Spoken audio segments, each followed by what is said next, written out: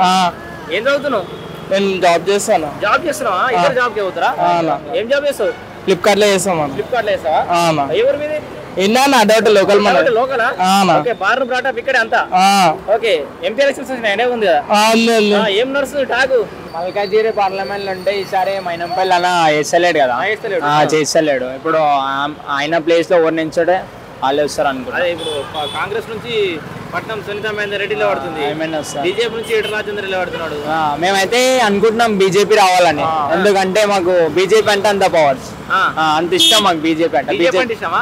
BJP BJP ఓటాకు వచ్చిందా మీకు?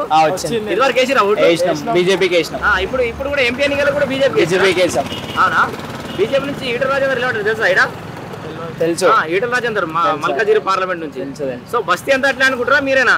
Bus అంతా అట్లా ఉన్నాం? మేమంతా ఒక యూనిటీతో ఉన్నాం. మాకంటే బీజేపీ రావాలని యూనిటీతో ఉన్నాం. ఎందుకు? బీజేపీ ఎందుకు చెప్పు? ఎందుకంటే బీజేపీ వస్తే కొంచెం మాకు ఉన్న పరిస్థితులన్నీ ఇదిలా. బీజేపీ రావాలా.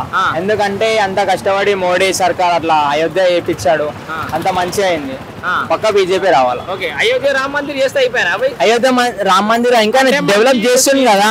మంచి చేస్తుంది కదా డెవలప్ చేస్తుంది కదా. చేయాలా? మొత్తం మోడీ చేసిండా? మోడీ చేసింది అయితే మోడీ కదా. పక్క నడవాలా ఇట్లా? ఇండియా మొత్తం నడుస్తుంది మోడీ.